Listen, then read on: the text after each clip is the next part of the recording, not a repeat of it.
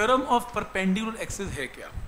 Theorem of perpendicular axis के अंदर suppose करो, आपके पास कोई भी एक बॉडी है, कोई भी एक बॉडी है, और ये जो बॉडी है, ये 2D बॉडी होनी चाहिए। 2D मतलब स्फेयर नहीं होना चाहिए। सेरिकल बॉडी 3D है, हर एक्सिस में उसका मास डिस्ट्रीब्यूटेड है। ये 2D होनी चाहिए, जैसे शीट एक स्क्वायर शीट है सर्कुलर शीट है डिस्क है रिंग है 2D है। एक्स वाई प्लेन में बॉडी पड़ी हुई है। ठीक है? ये स्फेयर नहीं होना चाहिए, ये कोन नहीं होना चाहिए। ठीक है? और फिजिक्स में जो बॉडी का मास 2D में डिस्ट्रीब्यूटेड है, उसको हम बोलते हैं लैमिना लैमिना मैं भी इसमें डेफिनेशन में लिखा हुआ है। तो हम क्या कंसिडर करेंगे? एक लैमिना लैमिना जैसे शीट तो उसके ऊपर एप्लीकेबल है। तो क्वेश्चन ये है कि आपके पास एक लैमिना 2D बॉडी है, और सपोज़ करो, ये एक एक्सिस है, ये एक एक्सिस है एक्स एक्सिस ये एक्सिस है इसका सपोज़ जेड एक्सिस वाई ले लो जेड ले लो, कुछ भी ले लो, मैंने यहाँ जेड ले लिया और ये कौन सा एक्सिस है? एक्स वाई मैंने इसलिए जेड लिया क्योंकि मैं ये बताना चाहता हूँ, मेरी बॉडी एक्स वाई प्लेन में है तो ये कौन सा प्लेन है? एक्स वाई प्लेन है। ठीक है यहाँ तक? तो ये मान लो तीन एक्सेस हैं जो इसमें से पास कर रहे हैं और कंडीशन ये है इस थ्योरम को लगाने के लिए कि तीनों के तीनों एक्सेस एक ही पॉइंट से पास होने ज़रूरी हैं। ये नहीं है कि एक इधर जा रहा है तो एक इधर जा रहा है, ऐसा नहीं होगा। तीनों एक ही पॉइंट में से पास होंगे। ठीक है यहाँ तक? तो मान लो ये एक लेमिना टू बॉडी है और ये तीनों एक्सेस जो है एक पॉइंट में से पास कर रहे हैं। ठीक? ये थ्योरम ये कहती है, क्या है थ्योरम का रिज़ल्ट पहले बता रहा हूँ प्रूफ बाद में बताऊँगा। अकॉर्डिंग टू दिस थ्योरम अगर कोई मेरे को मोमेंट ऑफ़ इनर्शिया की वैल्यू बताए जेड एक्सिस के along I Z Z axis के अलाउंग मोमेंट इनर्शिया का मतलब यह है कि अगर ये बॉडी ऐसे रोटेट करे तो एक्सिस कहाँ से पास करेगा? जेड में, अगर करे, जैसे इमेजिन करना है। लेकिन अगर ये बॉडी ऐसे रोटेट करे तो एक्सेस कहाँ से पास करेगा? एक्सेस एक्स हो जाएगा। और अगर इसके अबाउट रोटेट करे तो एक्सेस क्या हो जाएगा? वाई हो जाएगा। कुछ भी हो सकता है। आपकी मर्ज़ी, कैसे मर्ज़ी घुमाओ। तो जेड एक्सिस के अलोंग मान लो मोमेंट ऑफ़ नशिया आई जेड है। और अगर एक्स के अबाउट रोटेशन है तो मोमेंट ऑफ़ नशिया आई एक्स है। और अगर वाई के अलोंग घूमती है तो moment of inertia I Y है। ये थ्योरम का फॉर्मूला ये कहता है शॉर्टकट ये कहता है। कि जो z के अलोंग मोमेंट ऑफ़ इनर्शिया होगा, वो मोमेंट ऑफ़ इनर्शिया x के अलोंग प्लस y के अलोंग इसके सम के इक्वल होगा, ये थ्योरम है। तो थ्योरम ये कहती है कि आपके पास कुल मिला के तीन एक्सेस हैं। ठीक है? तीन एक्सेस होंगे। तीनों एक्सेस एक ही पॉइंट में से पास भी करेंगे, जैसे मैंने बताया। तो मान लो एक बॉडी है, और जैसे ये एक बॉडी ले लेते हैं, ये मान लो टू बॉडी है, ये इसका पहला एक्सेस है ये इसका दूसरा एक्सेस है और तीसरा एक्सेस कहाँ से पास कर रहा है इसके? परपेंडिकुलर कंडीशन यही है कि दो एक्सेस को कहाँ से पास करना है? बॉडी के अंदर से. And they should be perpendicular to each other तो दो एक्सेस कहाँ से पास करेंगे इसके? बॉडी के अंदर से, इस प्लेन में लाई करेंगे. And they should be perpendicular to each other और तीसरा एक्सेस कहाँ होगा? इन दोनों के परपेंडिकुलर तो आप ऐसे याद ना करें कि z के long moment is always equal to x और y के लॉन्ग क्यों? कल को मैं जेड एक्सेस इसको बोल दूँ, फिर ये z है, ये y है, ये x है तो फिर आप तो गलत थ्योरम लगा दोगे। तो आप ऐसे याद करोगे कि दो एक्सेस बॉडी के अंदर से पास करेंगे, तीसरा एक्सिस इन दोनों एक्सिस के परपेंडिकुलर होगा और आउट ऑफ़ प्लेन होगा। आउट ऑफ़ प्लेन है परपेंडिकुलर होगा। तो जो एक्सिस आउट ऑफ़ प्लेन होगा, उसका मोमेंट ऑफ़ इनर्शिया जो इन प्लेन एक्सेस हैं, उनके सम के इक्वल होगा। अब उनका नाम चाहे एक्स हो, चाहे वाई हो, चाहे जेड हो, उसे मेरे को लेना देना नहीं है कोई भी। तो मैं क्या बोल रहा हूँ? कि इन दोनों एक्सेस जो प्लेन में लाई करते हैं, मान लो एक के long moment of inertia ten है एक के लॉन्ग फिफ्टीन है तो पक्की बात है जो आउट ऑफ़ प्लेन एक्सेस है, उसका मोमेंट रेशिया टेन प्लस फिफ्टीन कितना हो जाएगा? ट्वेंटी फाइव अगर आप एक्स वाई जेड के चक्कर में पढ़ेंगे तो कल को एक्सेस चेंज हो जाएगा, आप फिर हम लगा देंगे। तो आपने एक्स वाई जेड से याद नहीं करना, बस दो एक्सेस इन प्लेन होंगे और तीसरा एक्सेस आउट ऑफ़ प्लेन होगा। आउट ऑफ़ प्लेन मोमेंट रेशिया जो होगा, वो इन प्लेन मोमेंट रेशिया के सम के इक्वल होगा। बात खत्म। क्या ये शॉर्टकट क्लियर है? तो इसमें एक्सिस चेंज करने की ज़रूरत नहीं है। अगर मैं आपको इसके अलॉन्ग मोमेंट रेशिया दूँ, इसके अलॉन्ग दूँ तो आप इसके अलॉन्ग निकाल सकते हो। या इसके अलॉन्ग दूँ, इसके अलॉन्ग दूँ, इसके अलॉन्ग निकाल सकते हो। तो आपको बार बार इंटीग्रेशन करने की ज़रूरत नहीं है। पर कंडीशन यही है कि तीनों एक्सिस एक दूसरे के क्या होने चाहिए? पर पेंडिकुलर होना चाहिए। ऐसे टेढ़े एक्सिस की थ्योरम लगती नहीं है। अब मैं क्या करूँगा? इसका प्रूफ बताता हूँ कैसे होगा। प्रूफ के बाद मैं आपको कुछ फिगर्स में लगा के दिखाता हूँ कि क्वेश्चन में लगती कैसे आएगी प्रैक्टिकल क्वेश्चन में लगेगी कैसे? पहले ये प्रूफ देखते हैं, ये आया तो आया कैसे रिज़ल्ट प्रूफ के लिए काम करते हैं, मैं ये फिगर एक बार फिर से ड्रॉ कर रहा हूँ। तो थ्योरम ऑफ़ परपेंडिकुलर एक्सिस देखो तो इसमें सपोज़ करो, कोई भी एक लैमिना ले लेते हैं। कोई भी, किसी भी शेप का रैंडम कोई भी एक लैमिना ले लिया it's a close body and two body ठीक है? फिर मैंने तीन एक्सेस ले लिए। ये मेरा पहला एक्सेस जैसे मैंने बनाया था, ये मेरा क्या है? एक्स एक्सिस ये मेरा कौन सा एक्सेस लिया था मैंने? जेड एक्सेस और ये कौन सा लिया था मैंने? एक्स वाई एक्सेस ठीक हो गया यहाँ तक? सपोज़ करो, इस बॉडी के अंदर कोई पार्टिकल है एम वन ठीक है? पार्टिकल तो बहुत सारे हैं M one M two M three up to M N तो मैंने कोई पार्टिकल लिया जिसका पॉइंट मास कितना है? एम वन सिंपल एक पार्टिकल लिया। मेरे को ये चीज़ बताओ कि इस पार्टिकल का परपेंडिकुलर डिस्टेंस एक्स से अगर निकालना है तो ये बनेगा, ये इसका परपेंडिकुलर डिस्टेंस है, और इस पार्टिकल का परपेंडिकुलर डिस्टेंस अगर वाई से निकालना है तो ये बनेगा। क्या ये पॉइंट क्लियर है? ये एक्स से बनेगा और ये वाई से बनेगा। ठीक है यहाँ तक? और अगर मैं ये कहूँ कि ये डिस्टेंस होगा क्या तो आप ऐसा बोल बोल सकते हैं कि एक्स एक्सिस के अलाउंग ये कोऑर्डिनेट कितना है इसका? एक्स वन वाई एक्सिस में ये कोऑर्डिनेट कितना है? वाई वन तो अगर ये वाई वन है तो ऑब्वियसली ये भी कितना है? वाई वन ये एक्स वन है तो ये कितना है? एक्स वन कोई डाउट इसमें. तो मेरा एक सिंपल क्वेश्चन है. इस पार्टिकल का परपेंडिकुलर डिस्टेंस एक्स एक्सिस से कितना? इस पार्टिकल का परपेंडिकुलर डिस्टेंस इस एक्सिस से कितना? वाई वन तो कई लोग ऐसे सोचते हैं कि क्योंकि मैंने एक्स एक्सिस से डिस्टेंस पूछा तो एक्स वन बोल दो। नहीं एक्स वन के अलोंग नहीं पूछा एक्स वन से पूछा। तो इस पार्टिकल का एक्स एक्सिस से परपेंडिकुलर डिस्टेंस है वाई और इस पार्टिकल का वाई एक्सिस से परपेंडिकुलर डिस्टेंस कितना? है एक्स और इस पार्टिकल का परपेंडिकुलर डिस्टेंस जेड एक्सिस देखो जेड एक्सिस तो बिल्कुल बीच में से पास कर रहा है। आप स्ट्रेट डिस्टेंस ज्वाइन कर लो और ये डिस्टेंस कितना आएगा? जेड वन क्लियर है यहाँ तक? ये पहले पार्टिकल की स्टोरी है। तो अगर मैं आपसे ये कहूँ कि ये बताओ कि इस इस केस में जो अगर मैं एक्सिस एक्स लूँ X X dash X X dash कुछ नहीं है, इसको और एक्सटेंड कर लोगे तो इसका नाम क्या डाल दोगे? एक्स एक्स डैश एक ही बात है। मतलब एक्स और एक्स डैश एक ही बात एक्स लिख लो चाहे कोई बात नहीं। तो अगर मैं ये पूछूँ कि एक्स एक्सिस के अलोंग इस पार्टिकल का मोमेंट और निशा बोलो क्या होगा? तो ये पॉइंट मास है। पॉइंट मास का मास कितना है? एम वन और परपेंडिकुलर डिस्टेंस कितना है? इस पार्टिकल का परपेंडिकुलर डिस्टेंस कितना है? एक्स वन एक्स से वाई वन तो यहाँ पर क्या आएगा? M one Y one square ये इंपॉर्टेंट है। कई बार लोग कंफ्यूज होते हैं। चल एक्स रहा या वाई कैसे आ गया? क्योंकि हमने एक्सेस क्या लिया? एक्स तो पार्टिकल की दूरी कहाँ से देखी जाएगी एक्स से? जो कि यहाँ पर एक्स वन नहीं है, जो कि यहाँ पर क्या है? वाई वन है। कोई डाउट इसमें। क्या ये पॉइंट क्लियर है यहाँ तक? ठीक है। तो ये आपका एक्स एक्सेस है। मैं इसके अबाउट मोमेंट रेशिया निकाल रहा हूँ। तो पॉइंट मास का डिस्टेंस यहाँ से कितना है? वाई वन अच्छा एक और पार्टिकल इमेजिन करो एम टू होता।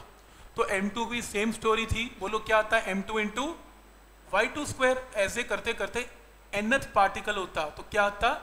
वाई एन स्क्वायर कोई डाउट इसमें? क्लियर है यहाँ तक? एक फिगर एक पार्टिकल के लिए फिगर बनाई एन के लिए एक्सटेंड कर दिया। ठीक है यहाँ तक? तो यहाँ से एक्स एक्सिस के along moment of inertia will be equal to क्या मैं इसे ऐसे लिख सकता हूँ? Sigma sigma summation plus plus plus हो रहा है। तो पहला पार्टिकल एम वन दूसरा M two M three M N तो यहाँ पर क्या आएगा? M I where I start from one to N तो एम आई का मतलब कि पहला आई की वैल्यू वन तो एम वन टू तो एम टू थ्री तो M three and so on तो M one M two M three चल रहा है तो M I next Y one square Y two square Y three square तो यहाँ लिख लें वाई आई का स्क्वायर अब आई की वैल्यू जो वन पुट करोगे तो क्या आएगा? M one Y one square to put करोगे M two Y two three put करोगे M three Y three square addition का मतलब सिग्मा एडिशन कर रहा है। क्या ये पॉइंट क्लियर है? ये आपकी इक्वेशन नंबर वन है। ठीक है, यहाँ तक इक्वेशन वन क्लियर है। अब एक काम करो सेम चीज़ मैं पूछता हूँ आपसे वाई एक्सिस में। अब वाई एक्सिस में मोमेंट अनिश्चय बताओ। अब एक्सिस वाई है। वाई एक्सिस के अलोंग इस पार्टिकल का परपेंडिकुलर डिस्टेंस वाई से कितने है? एक्स वन तो क्या बनेगा? M one into X one square ऐसी M two into X two square करते करते करते करते M N into X N square कोई डाउट इसमें? क्या ये पॉइंट क्लियर है यहाँ तक? ठीक। और समेशन की फॉर्म में अगर लिखेंगे तो यहाँ पर आएगा sigma M one M two M three की जगह एम आई यहाँ पर एक्स आई का square I start from one to N ये आपकी क्वेश्चन नंबर टू कोई डाउट इसमें? तो यहाँ से आ गया इक्वेशन नंबर वन ये क्या इक्वेशन नंबर ठीक? तो मैं नीचे लिख देता हूँ। ये मेरे पास आ गई इक्वेशन नंबर वन जो कि आई एक्स एक्स डैश की थी। That is sigma M I Y I का स्क्वायर वन टू एन ये क्वेश्चन नंबर वन और similarly Y Y dash M I X I का square I from one to N एक काम करो first equation और सेकंड इक्वेशन को add कर दो। तो I X X dash I Y Y dash sigma M I X I square sigma M I Y I square I varies from one to N और I varies from one to N क्या ये point clear है यहाँ तक? Add कर दिया। Add करके काम करो। इसमें से कॉमन निकाल लो। कैसे? ये आपके पास सिग्मा एम आई कॉमन आ गया। तो क्या बचा? एक्स आई का स्क्वायर प्लस वाई आई का स्क्वायर फिर I start from one to N को डाउट इसमें। ठीक है? कॉमन निकाल गया टर्म आ गई। अब मुझे अपनी पुराने फिगर में वापस जाना पड़ेगा एक मिनट के लिए। ये देखो। इस राइट एंगल ट्राइंगल में बोलो जेड वन स्क्वायर क्या होगा? X one square plus Y one square ऐसी जेड टू स्क्वायर क्या होगा? X two square plus Y two square उसी तरीके से z आई स्क्वायर क्या होगा? X I square plus Y I square तो मैं ऐसा लिख सकता हूँ sigma M I Z I square where I varies from one to one चलेगा। X I square Y I square का सम क्या? जेड आई स्क्वायर तो इसमें अगर इसे ओपन करेंगे तो क्या आएगा? M one Z one square M two Z two square करते करते M N Z N square clear है यहाँ तक? अब एक बात बताओ, आपका एक्सिस जेड एक्सिस सेंटर से पास कर रहा था पार्टिकल m1 की दूरी z एक्सिस से z1 थी तो उसका मोमेंट ऑफ़ इनर्शिया क्या होगा पॉइंट मास का z से? M1 z1 स्क्वायर ऐसी m2 पार्टिकल का m2 z2 स्क्वायर m3 का m3 z3 स्क्वायर तो क्या मैं लिख सकता हूँ इसकी जगह i z एक्सेस एक ही बात है, इस सबका सम क्या देगा आपको? आई जेड एक्सेस और मैंने यही तो प्रूव करना था, क्या? कि x एक्सिस का सम और मोमेंट ऑफ़ इनर्शिया y के long is equal to z के लॉन्ग क्या ये स्टेप क्लियर है यहाँ तक? कोई डाउट इसमें? पॉइंट समझ में आ रहा है यहाँ तक कि x एक्सिस का, y एक्सिस का मोमेंट इनर्शिया का सम z एक्सिस के मोमेंट इनर्शिया के सम के इक्वल आएगा। कोई डाउट ठीक है यहाँ तक? तो ये थ्योरम है और थ्योरम का प्रूफ है। अगर आप अपनी इस शीट में जाएँगे तो इसकी स्टेटमेंट भी आपको लिखनी पड़ेगी। थ्योरम ऑफ़ परपेंडिकुलर एक्सिस के accordingly according to this theorem moment of inertia of a plane lamina देखो उसने मेंशन किया, ये थ्योरम किस पे चलेगी? प्लेन लैमिना पे, जैसे sheet two dimension body of any shape and size about any Z axis perpendicular to the plane of lamina तो ये जेड एक्सिस क्या है? Perpendicular to the plane of lamina equal to sum of moment of inertia of a lamina. About two mutually perpendicular axes, x axis and y axis और ये तीनों axis एक ही point से पास होने चाहिए। अपने वर्ड में भी लिख सकते हो बट स्टेटमेंट का मतलब समझ में आ रहा है कि क्या स्टेटमेंट है इसकी?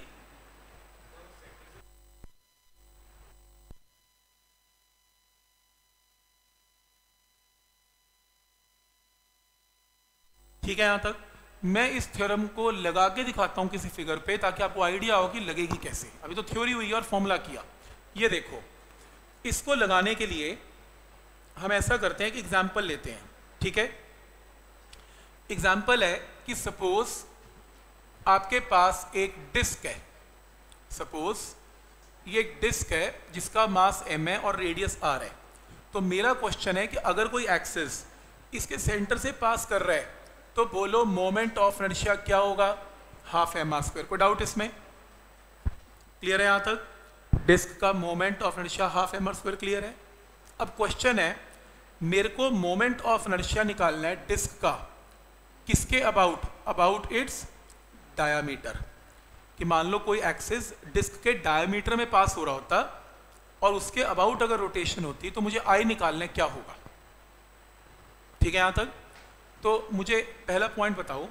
डायमीटर कितने डिस्क के? इनफाइनाइट है। जितने मर्ज़ी डायमीटर ले लो। लेते जाओ लेते जाओ लेते जाओ। जितने मर्ज़ी लो। तो एक या दो डायमीटर तो होंगे नहीं। पॉइंट नंबर टू डायमीटर के अबाउट अगर moment of inertia I dash है, एक डायमीटर के अबाउट तो सारे डायमीटर के about answer will remain same symmetry है ना? चाहे जो मर्ज़ी एक्सिस खींच लो, बात तो डायमीटर तो डायमीटर ही। है तो एक के, ऐसे तो है नहीं कि एन मैं एन आंसर तो ना याद करूँगा डायमीटर्स के।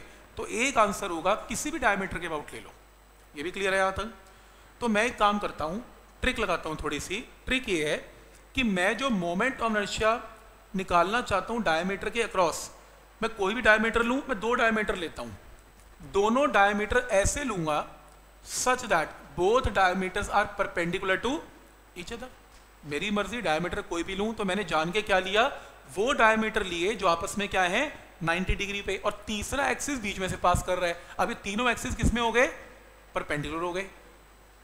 ताकि मैं क्या लगा सकूँ सकूँ? Theorem of perpendicular axis diameter कोई भी ले सकते थे तो मैंने जान के क्या लिए, वो डायमीटर लिए जो आपस में 90 डिग्री पे हैं। तो एक और दो डायमीटर लिए और दोनों डायमीटर इन प्लेन है, इस डिस्क के अंदर लाई करते हैं। तो इनमें से मान लो एक एक्स एक्सिस है और एक वाई एक्सिस है और तीसरा एक्सिस कहाँ से पास कर रहा है? इनके आउट ऑफ़ प्लेन क्लियर है यहाँ तक? तो अगर मैं ये बोलता हूँ कि डायमीटर के अबाउट जो मोमेंट ऑफ़ इनर्शिया है आईडी है, और दूसरे डायमीटर के about moment of inertia I होगा ऑब्वियसली और थ्योरम ऑफ़ परपेंडुलर एक्सिस ये बोलती है, जो आउट ऑफ़ प्लेन एक्सिस है, उसका moment of inertia I D plus I D के इक्वल होगा। कोई डाउट इसमें?